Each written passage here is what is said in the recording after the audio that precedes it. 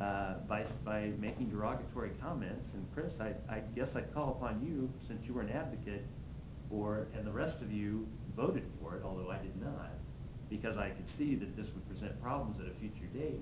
But I do think that you need to remind them that they all agreed to that document.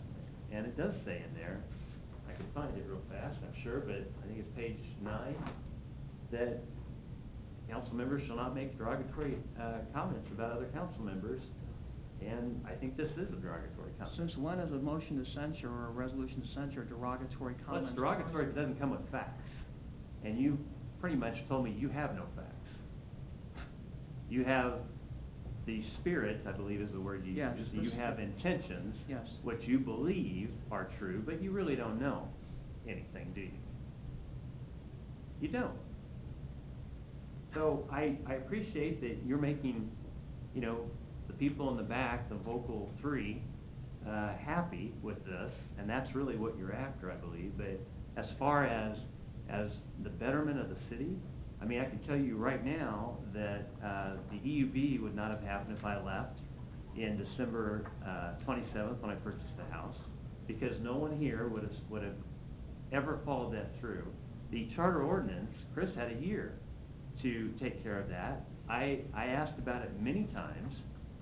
Uh, I made a, uh, you know, a point, uh, of the vacancy the night that, early April, a year ago, of the danger of having a four-person quorum.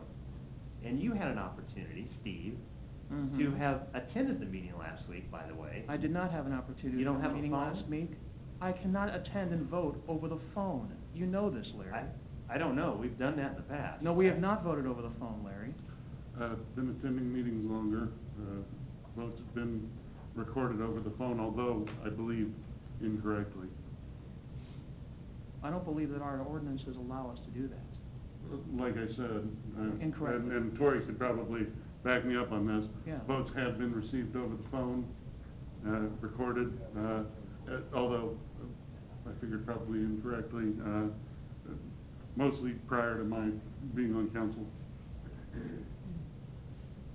No, I, I appreciate the comments, but I'm a good guy. You are. uh, Because, uh, I am upholding the law. I've made a lot of improvements that would have never happened had I left on December twenty-seventh when I closed on my house. And as Mhm. far as I'm concerned, I'm a legal resident. I don't have, owe you any explanation, or you, Tory, or you, Heath, as to what my intentions are. I'm occupying the house on a daily basis up until this point, uh, every day. My family has occupied the house every day. Oh, I'm sorry, do you, do you have evidence to the contrary? I'm not, I'm not parked on your doorstep, Larry, but I do know that virtually every time I've been over there, there's, it's, it's been You, empty. do you have a camera inside the house, Steve? No, I mean, do not have a camera inside I, the I have house. a certain number of cars and a certain number of garage spaces, so unless you, you are tracking my every movement, you And really I'm don't know. not. I would like to just proceed to a vote. Uh, I, I would like to say that I am disappointed that we got a motion in a second without Councilmember Harrison here. Audience vote, audience talk, There was Is no there any public comment Uh, motion comment? yes. Uh, which takes us out of order, but uh, con- considering we, well, no, considering we missed it and, and it is part of what we allow by the rules of procedure. Uh, and we've got other people that are sure willing to speak on both sides of the issue, but, uh, if there are people in the audience that would like to speak about resolution number one nine zero seven, please step forward, state your name and address for the record. and- Danedri Herbert, two twenty-three West Main.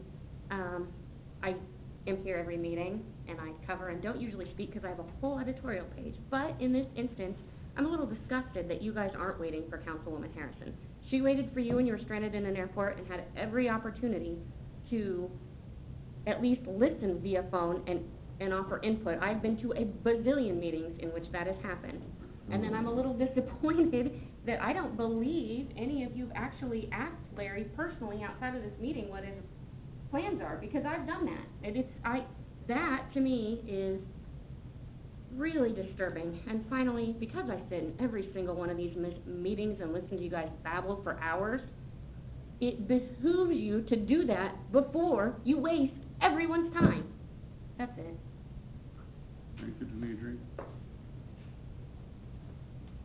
there anyone else in attendance that would like to speak about resolution number one nine zero seven? Any other comments or questions? I do actually have one, and, and Danedri beat me to that, I was waiting for us to finish up. Um, I spoke the same way at the last meeting, that I think this is a discussion to be had by the five members of the council. And I believe that Councilwoman Harrison should be here this evening. So with that, I'd like to entertain a motion to table this until the next council meeting, it could be added to the attention. But I'd like to table this motion and hope that we might have an opportunity to discuss it further at another time. I'll I beat think it you- is I'll- a discussion for all five. I'll beat you to it, okay, Larry, uh, um, um, uh, Heath, I'll, I'll be willing to withdraw the motion, uh, for, for the, for the, uh, resolution, if we, if we can have this, um, if we can have this discussed and voted on at the next council If we, meeting. if, what, if he tables it for the next council meeting, then, then that will work. Uh, we've got a motion to table. We have a second. Oh, I, I will, I will preempt this by, by, by offering, uh, by, by offering to withdraw my A- motion. Actually, I think we're gonna, we're gonna do it this way, thank you. Okay, that's fine. Uh, motion Freeman, second Roberts, that we table, table discussion and a vote on resolution number one nine zero seven until the next council meeting, which will be, uh, June, uh, sixteenth. All those in favor indicate by saying aye. Aye. Aye. Can I vote on this, or on a tabling of my lynching, or is that?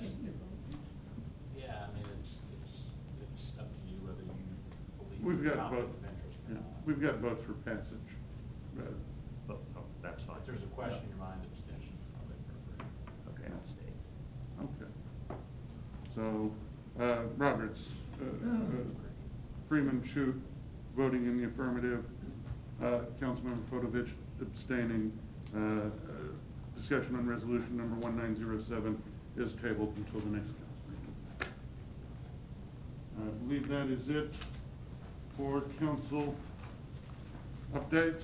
Well, I did want to wait, but uh, unfortunately, it's lost a little bit of it. But, uh, obviously, the number one thing in the chart, sixty-six percent of the individuals that replied to the survey thought that, uh, at least thought a priority should be our traffic flow systems. And tonight, we passed one, that was the second, uh, meeting in a row, or second out of the last three where we passed traffic issues, and also the quiet zone. So it, it's nice, I know we get distracted by some other things, um, and distractions are never fun, but actually, the, the task at hand is for the citizens, and we've been able to respond right away, and thankfully, with, uh, Brian and his team's hard work, the state helped pick up the tab for some of this as well, so that's even a better icing on the cake, but I didn't want that to go unrecognized, even though it was a distraction before then, so. Uh, and I'm glad that you took us back onto a- an update Mhm. path. Uh, we've got a work session scheduled for next Monday. Uh, you know, back in March, uh, I handed out a recommendation after the, uh, meeting that we had with the, uh, the, and panel discuss, work session and panel discussion that we had. I'm sorry you weren't able to attend that, Steve. Yeah. Uh, that was- but, uh, I was, uh, I was inspired to update the recommendations I had. I'm gonna share them with you because I'm still hoping that we're going to get some, some ideas coming forward at this next meeting and, and, and make some progress. So, uh, I've got enough comment, uh, uh, of these for members of the council, and if there's anybody in the audience that would like one, uh, they're welcome to it, so.